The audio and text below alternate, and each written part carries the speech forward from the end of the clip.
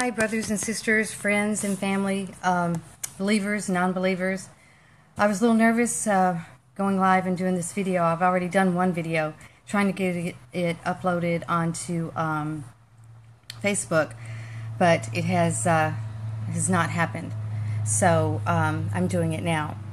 Um, I wanted to uh, talk to you about a, a, dream I had last night. I've had dreams like this before in the past um, from God, and um, and before they've been um, warnings from God about either my life or someone else's life, and um, but this time it was a lot different.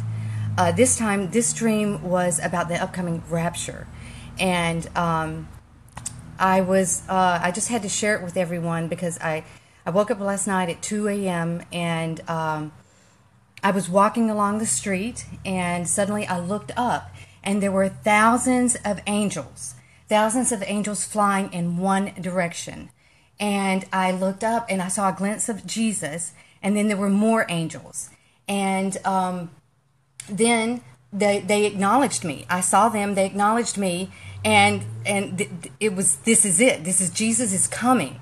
So I ran home, and when I ran home, all my family was there, and I told them, well, um, uh, everyone get ready because the Lord is coming. You know, he, they're they're coming to get us. And so, what I wanted to tell you also was that, uh, though the movie, you know, that we've seen before, Left Behind, where we just vanish and go poof. Well, that's not scripture. Scripture says that the angels come and gather us together. And that's exactly what they were doing. They were coming to gather us together. And uh, I wanted to kind of read uh, like First Thessalonians uh, to you. In First Thessalonians, it says 4 verse 16 through 17.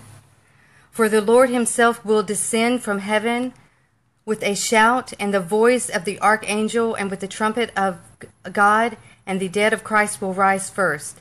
Then we are alive, will remain, and remain will be caught in, together with them in the clouds to meet the Lord in the air, and we shall always be with the Lord. And then uh, I was sharing this also with my sister this morning, and she shared with me Mark uh, 13, verse 27, which says, And then he, Christ, he will send forth the angels and will gather together his elect, which are us, the believers, from the four winds, from the farthest end of the earth to the farthest end of heaven. And that's what I saw. And um, so what I did, I ran back to the house and I, I gathered my family and just we were waiting.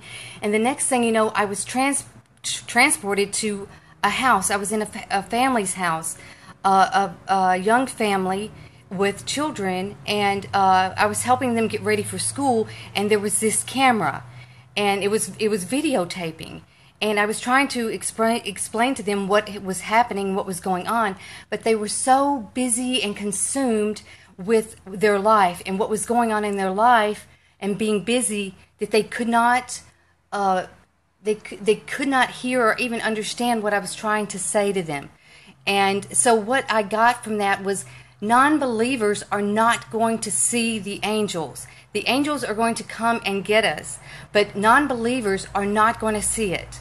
They, they're not even going to be fazed by it at that point. They won't see that and um, only we will see the angels. So in the scriptures that say, keep your eyes fixed and looked upon the skies, that's what you need to be doing. We all need to be looking up and keep our eyes looking up and stop being so distracted because we're we all get very distracted. So start looking up. And as when after I looked at the first recording when I was trying to record this a little while ago, because uh, I could not understand what the camera meant or the video recorder meant.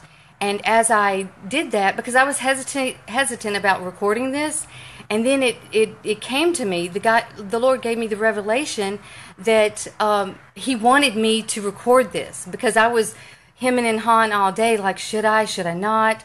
And but God wanted me to get this out there, and for everyone, all of you, share this with whomever tell everyone to keep their eyes open and don't be so focused on your day to day life to know that the Lord is coming back. It could be a month, it could be a week, it could be days. We don't know, but let's start focusing and keep your eyes fixed on the sky. And uh, I wanted to continue um, uh, with one more scripture. Um, it was in Luke 21, verse 25. Um, well, down here at 27, it says, Then, then they will see the Son of Man coming on the cloud and power with great glory.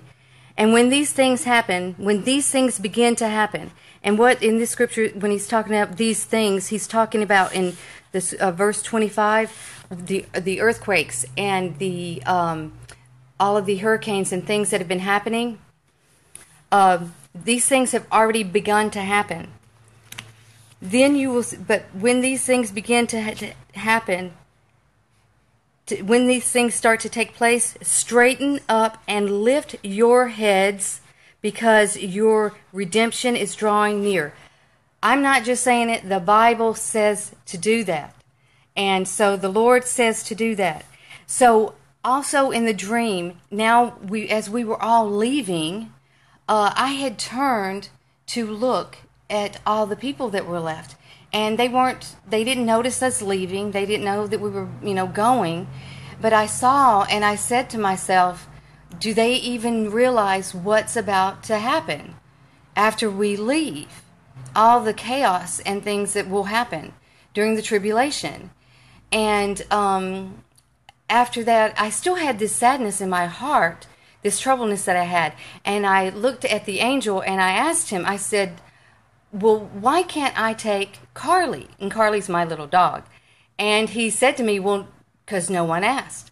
And he went from that that second he went and got her. And my dream was over after that. So it was an incredible dream. I woke up immediately and I wrote everything down. And I'm so grateful that I was able to record this. And please share it with everyone and anyone. And this is a time of to share God's goodness and His mercy and His love with everyone, and to know that Jesus is coming back and to know that and to be ready. It is time for us to wake up from our slumber, to fill your lamps with oil.